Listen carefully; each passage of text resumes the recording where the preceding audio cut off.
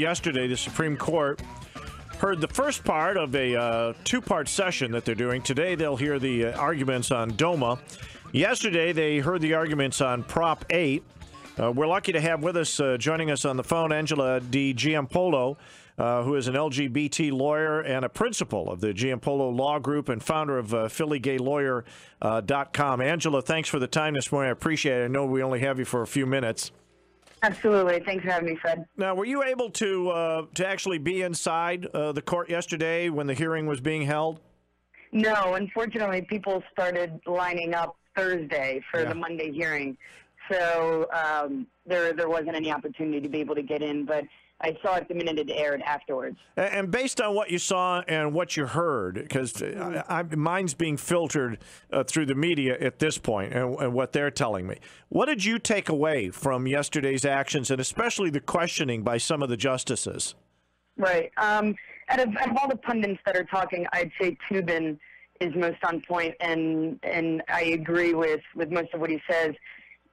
Based on the questioning, I don't think that we're going to see a 50 statewide sweeping ruling come June, um, overturning all of the the mini domas, all of the constitutional bans.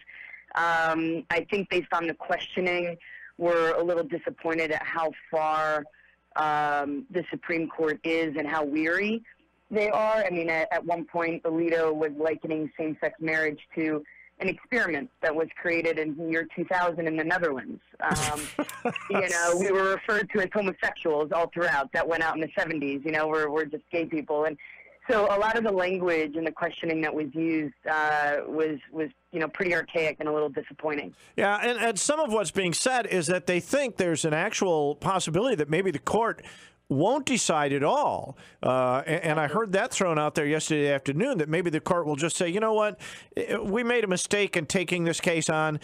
We can't decide it. We don't want to decide it. We're just going to turn it back and leave it to the states. Uh, what likelihood is there of that happening?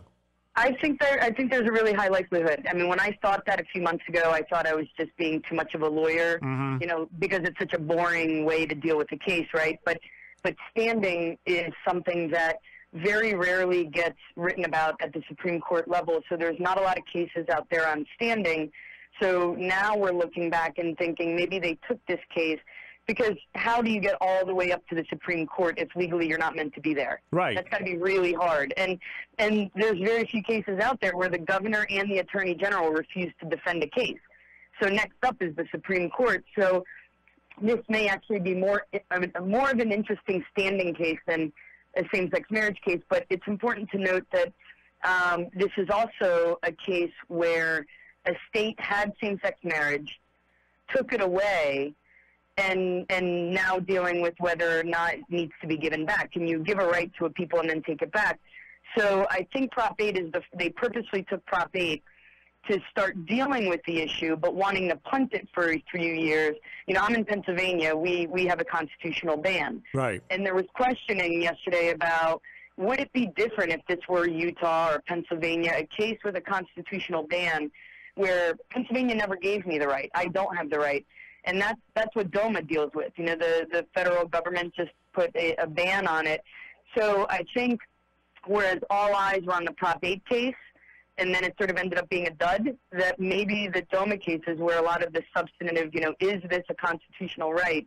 Because if it's found illegal or unconstitutional on the federal level, only a matter of time before that will trickle down. Right, and and the states will have to change their laws depending on that. And and a lot of people are falling in that way. A lot of people are saying, "Look, the federal government shouldn't be involved in this anyhow. This should be a states' rights issue." Where does the LGBT and other groups like that fall on that? Why not just let the states decide? And then if California wants to be stupid about it, uh, you know, and pass a law that says you can't be married, you just go to other states, you ignore California, and you go to the states where, you know, where you can get married. And California it- suffers the consequence, and at some point they go, "Holy Right. crap! You know, we're losing tens of Right. hundreds of millions of dollars." I mean, and, and I think I think in saying that, that's easy to say, but deep down, that's a very naive and optimistic view of humanity, mm-hmm. right? Because gay, straight, whatever. Let's look at other times in history when this happened. We're we're, we're states and quote unquote humans Um, did they do the right thing uh, vis-a-vis segregation? Did they do the right thing vis-a-vis women's suffrage? Did they do the right thing vis-a-vis interracial marriages? You know, there there was a lot of talk on, um, you know, why the label marriage, and and Ted Olson said, well, you know, you didn't give black people, you know, interracial unions, you gave them marriage. Yeah. And in in all of those cases, the federal government had to come down and say, okay, you guys aren't getting this right fast enough. people are being hurt. Yeah, that's So one way to look at it. Yeah. Yeah, right. So it's just a matter of, you know, and, and this is evolving more quickly than any other social issue. So we may get it right fast enough, and I think they're going to punt, and I think they're going to give us a few more years. But there are a couple cases on their way up to the Supreme Court. They should get there in about two to three years. From states that just have bans, so not a California, but more of a Pennsylvania type case. Um, they're Hawaii and Arizona. Um, and if we haven't gotten there fast enough, they'll have the opportunity in a few years to deal with it again and, and maybe tell us, you know, we're, we're not getting there fast enough. Sure. Uh, later this afternoon, uh, when Limbaugh hits the air, we carry the show here. Uh, he's been saying he's been saying the last couple days in kind of a derogatory way. They're trying to make this argument all about love. Is there a problem? I'm trying to figure out. Is there a problem with that Like, argument? is that wrong? Right, right, right. Um, you know, my my answer to that is always, uh, you know, if if this were truly about protecting the sanctity of marriage, or or you know, uh, a lot of people say, you know, this isn't healthy for kids. Um, my thing that, to both of those, the sanctity of marriage and, and protecting children, is if that was truly your intent, then you would ban divorce. Mm-hmm. I mean, how many kids have just been brutalized by by unhealthy divorces, right? We can't even get divorced because we can't get married. And and why would you want to ban more people from getting married, um, rather than if you're if you're trying to protect the sanctity of marriage, um, you would you would be looking to ban divorce. So. You know, I don't think it's a negative thing to make this about love. I mean, people just want to enter into a union that has all of the legal and financial protections that, you know, I don't know if you're married, but that that you're privy to. Um, and and really, all of these people that are that are making it about uh, procreation or, or the sanctity of marriage or children should really look at that harder and, and realize that that's really just discrimination cloaked in, in morality, in my opinion. We'd really be looking to ban divorce if that was our true intent. Well, and and with a couple of gay brothers in my family, uh, I would hope that you know if they ever decided to get married, they'd have the opportunity. Neither of them has wanted to yet, but you know if the opportunity Right, yeah. arose, it sure Right, would be nice neither. to be able to, uh, to you know to let them do that if they felt like they wanted to.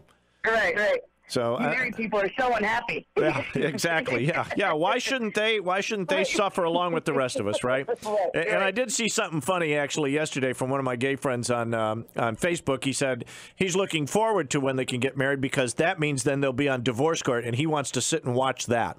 Exactly, and I want to be the judge. That's right. So that'll be fun. Well, now are you going to be back at the court today to uh, to watch the DOMA arguments?